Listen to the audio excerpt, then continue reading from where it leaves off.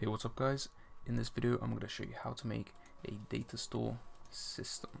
It will include a leader stats, saving data when the player leaves, and loading data when the player joins.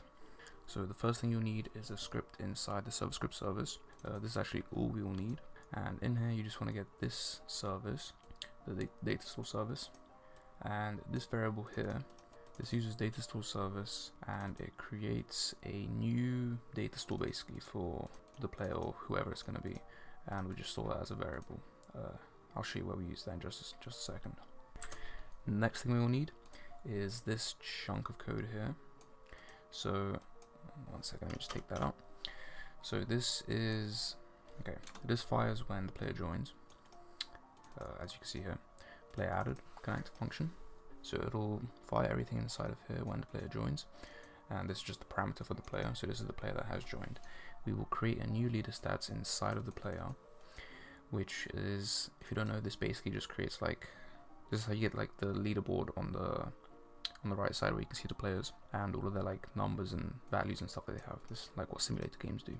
This is just creating a folder inside of the player. So it would be right here inside the player. And then we're just creating two values inside of it I'm making two just so I can show you how you can store multiple. Uh, but yeah, we just want to use instance.new int value because in this case I'm only going to be storing numbers.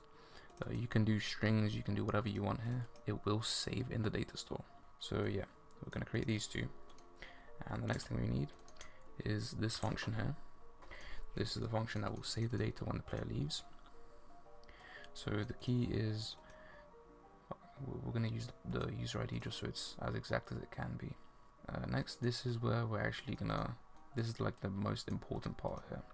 So this is sort of like a template, I guess, template, and in here we can just put whatever we want. So for this example, we've got coins, and we set that equal to the player dot leader stats dot coins value. This is where we actually save the the things. So we create this uh, table, I suppose, and this is what we will actually set uh, inside of the player data the data store that we created.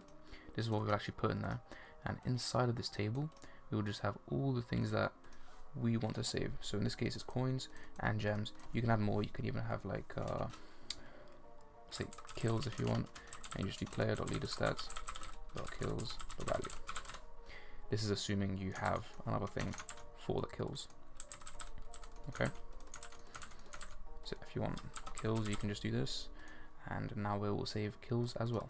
Yep. Simple enough. And then, yeah, we just chuck this inside of here. And it will save when we leave. And the reason we put it in a pcall is in case it doesn't uh, it doesn't succeed, in case there's some kind of issue and it doesn't actually save your data. Uh, in this case, nothing really happens if uh, your data doesn't save, but this is just a simple data store. Uh, in the case of like more advanced data store, you would have continuous saving that would it, it would occur like every minute, every couple minutes or something like that. You know.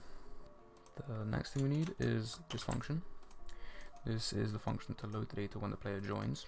Uh, similar thing, you would just get the player like this, or you set that as the, the key, because so we can find the player inside of the, the the data store that we made up here.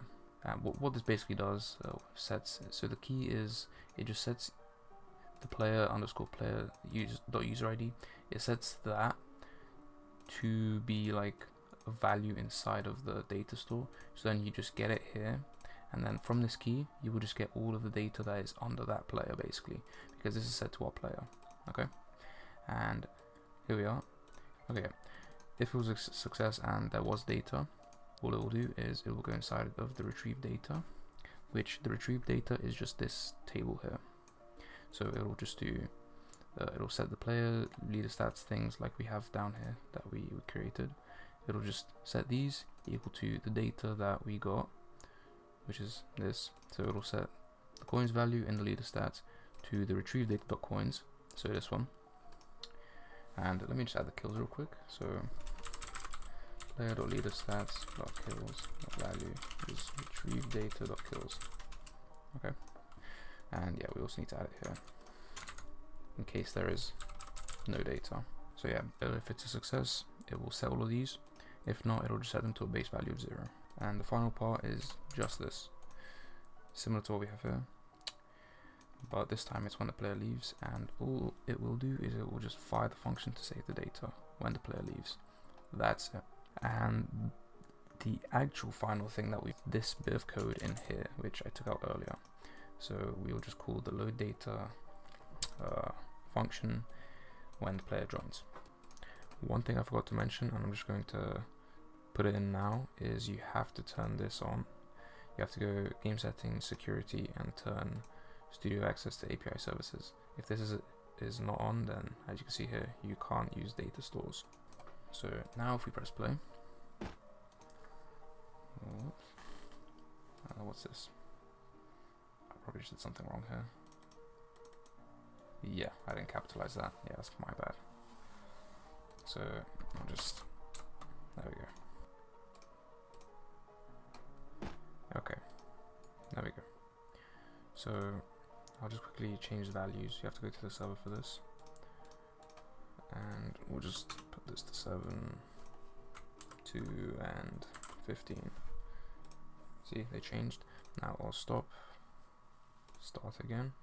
There we go, they saved. That's everything. Hope you enjoyed.